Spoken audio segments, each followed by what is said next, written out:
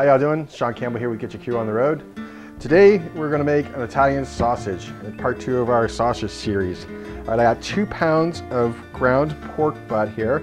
I got one tablespoon of black pepper, one tablespoon of ground fennel seed. Get in there. All right. A pinch of crushed red pepper. You can add more if you like. I like a sweet Italian sausage. And two tablespoons, or two teaspoons, I'm sorry, of salt.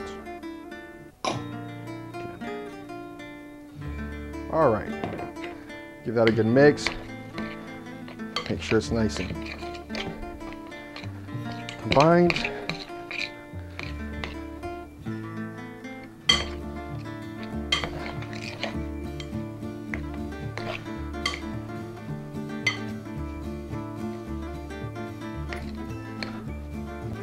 All right, there we go. It's good and combined.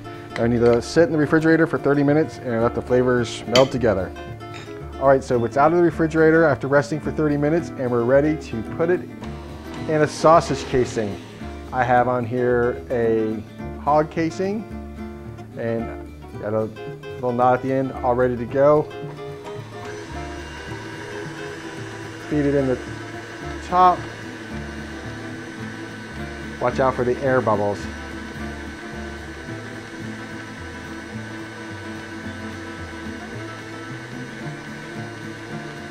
All right, so I got a little air going on, so I'm gonna give it a little jab with a needle, let some of the air out until the meat starts coming through. There we go.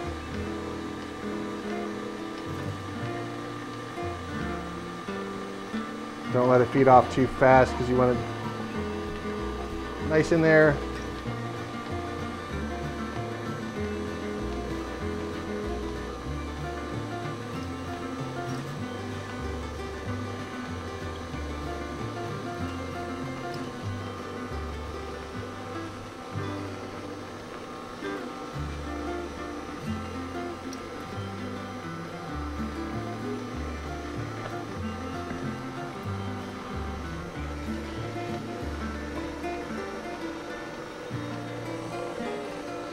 Holy moly. Alright. Oops, wrong way. Okay.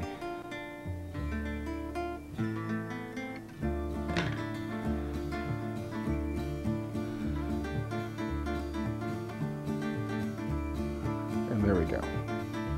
Right off the end.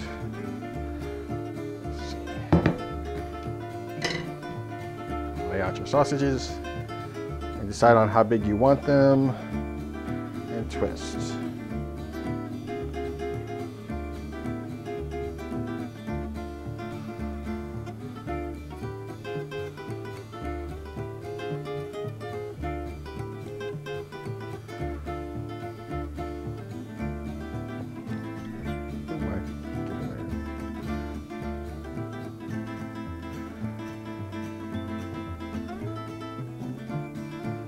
And there you have it. Two pounds of sausage, all ready for Italian dinner. I'm Shawn Campbell, and this has been Get Your Q on the Road.